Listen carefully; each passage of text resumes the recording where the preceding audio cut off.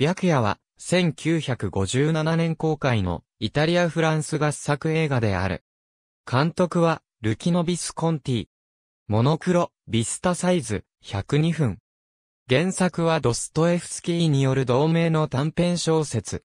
ベネツィア国際映画祭で銀実施賞を受賞した。イタリアのある港町の夜更け。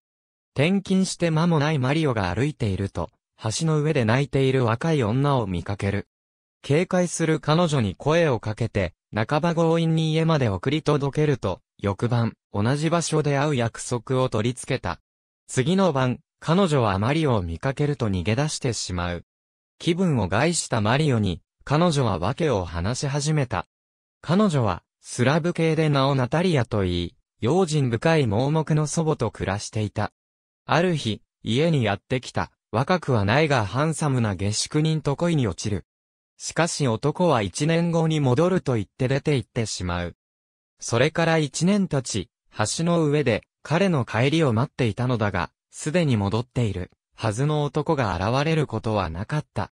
ナタリアはマリオに手紙を渡し、彼に届けてくれるように頼むが、マリオはその手紙を破り捨ててしまった。次の日、ナタリアを避けながら街を歩いていたマリオだったが、彼女に見つかってしまう。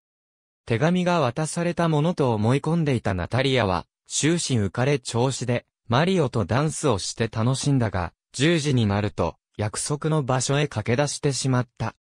絶望したナタリアにマリオは、自分の気持ちを打ち明け、二人の間には、愛が芽生えつつあったが、明け方、橋の上には、男の姿があり、ナタリアは、自分の気持ちを欺けないと言って駆け出してしまう。